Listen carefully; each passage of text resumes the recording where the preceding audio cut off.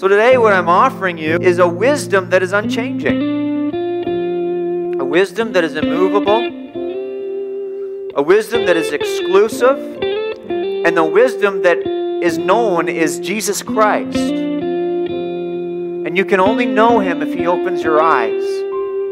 And if you want your eyes to be open to him, then pray. Pray. God, open my eyes to this hidden wisdom.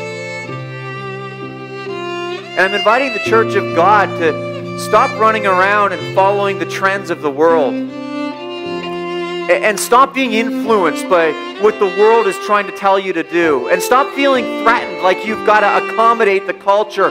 But I'm inviting you to push against it and to say, you know what? The wisdom that this culture is buying into is on the way out the door, but the wisdom that I've bought into is unchanging and is going to last forever. We're holding on, and we're not backing down.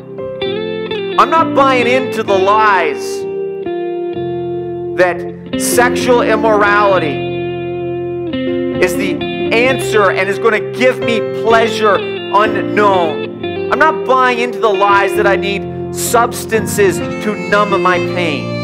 Okay? I'm not buying into the lies that money is the only thing worth pursuing. And then bigger and better stuff is all I need. I'm buying into an unchanging, irreplaceable, unmovable wisdom that has been around and predestined since before the ages and a wisdom that will last forever. It's the Lord Jesus Christ who was crucified and who was risen for our sin, the cornerstone, Christ alone. That's it. That's all I want. Everything else is leaving, and I'm following Him with my whole heart. This is an invitation to repent and embrace the wisdom of God so that you don't go off the conveyor belt.